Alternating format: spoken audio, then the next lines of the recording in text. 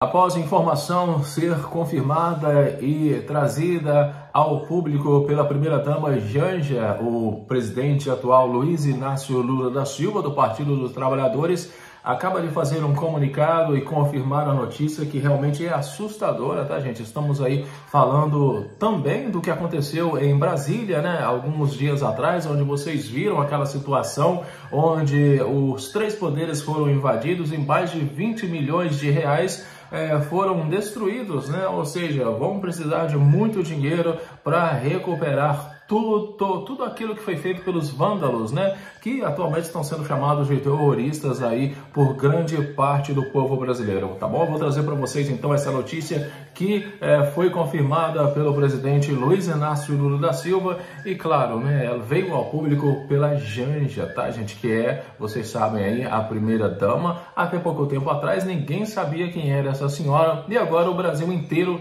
já conhece. Enfim, a notícia não é das melhores né? Estou falando aí é, do envolvimento aí de 40 militares, né, gente, que já não fazem parte do governo. Mas antes eu queria pedir para você se inscrever no canal. Se você ainda não é inscrito, aperte o sininho para as notificações e, claro, não esqueça de deixar o seu comentário, que é muito importante. O Ronaldo sempre responde e dá coração para todos. Aí debaixo também eu vou deixar para você o link do meu novo canal, Ronaldo Vida no Sítio. Gosta do conteúdo da roça? Quer ver o Ronaldo reformando a casinha dele no interior de Minas Gerais? O link está aí debaixo. Ronaldo Vida Vida no sítio. Conto com vocês. Olha o que aconteceu agora, gente. Lula dispensa 40 militares do Alvorada após Janja mostrar danos no móvel, tá?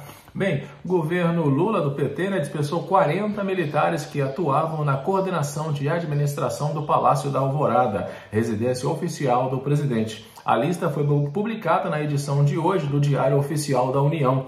A dispensa é válida desde 13 de janeiro, uma semana depois que a primeira-dama Rosângela Lula da Silva, a Janja, expôs os danos que encontrou no Alvorada, desocupado por Jair Bolsonaro do PL e Michele Bolsonaro.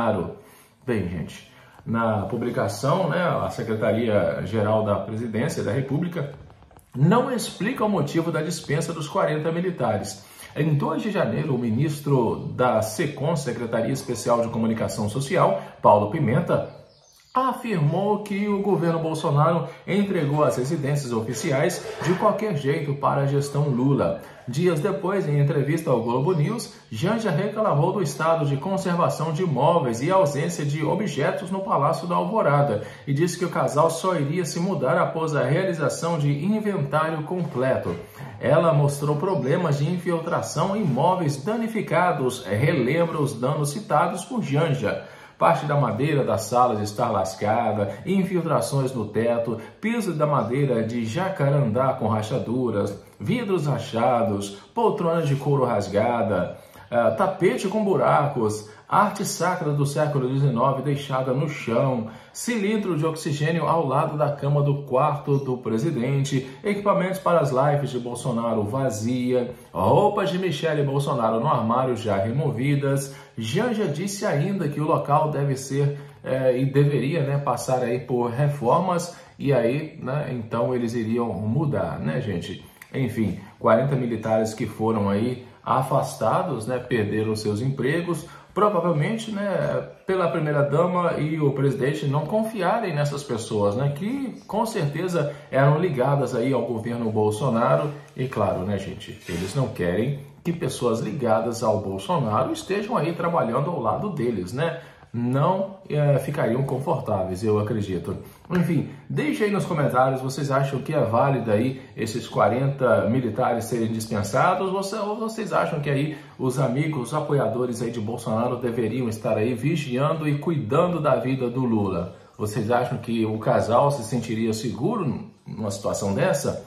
Provavelmente não, né? Deixe aí nos comentários, compartilhe o vídeo para que outras pessoas saibam o que aconteceu e eu volto daqui a pouquinho no próximo. Até já!